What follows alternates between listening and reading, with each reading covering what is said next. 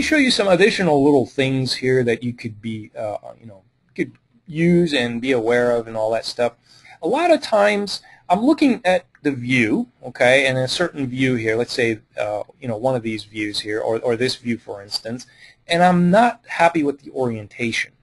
So one thing you could do to a view, notice, I mean, I'm carrying the view here, moving it anywhere I want. I can actually rotate this view using my regular rotate view button that you're used to seeing up here in that transparent toolbar.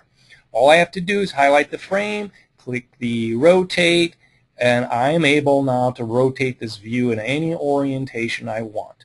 Notice when I clicked on the view, I also get this additional little dialog that pops up for you know the need maybe for entering or inputting some specific angles that I want to you know rotate to 90 degrees 45 degrees and so on. And it will allow me to preserve that view in that particular orientation. So this is really cool. I mean this is definitely helpful to kind of reorient views that you know otherwise you thought you might have gotten stuck with or, or you would have to delete and then uh, regenerate again. Uh, now, other views also, or other things that you can do with views, is the fact that you could uh, manipulate them uh, in, in a different way. Uh, for instance, a lot of times you look at a view, and let's say the other views weren't available here. Uh, I'm just going to simply go to a, a, single model view here. Let's create a single model view in this orientation here. In a single model view, again, notice I have a button for it, model view. Again, it takes me back to that same situation where I'm referencing a file and I click and here's a single model view. So I didn't really ask for that automated, uh, you know, instant three uh, views. When you do a single view, notice what pops up on the side here. This is kind of a, interesting. You might have seen it in other functions also.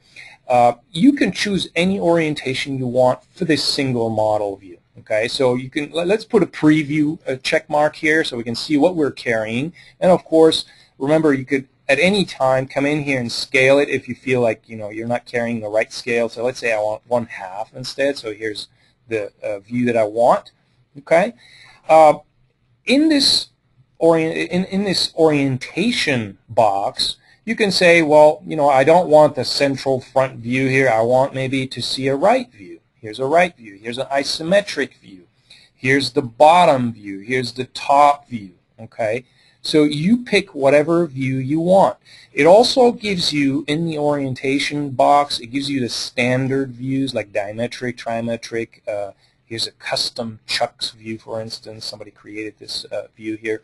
And then once you zero in on the view that you want, you just click it and you have that particular view. And of course, SOLIDWORKS wants to project from that. That's kind of an automated thing. If you want to uh, uh, eliminate that projection behavior, you just you know click OK there and you're good. Okay. So here's a single view that was created in SOLIDWORKS. Again, notice how when I click on it, it always gives me the properties back so I can go back and navigate the properties.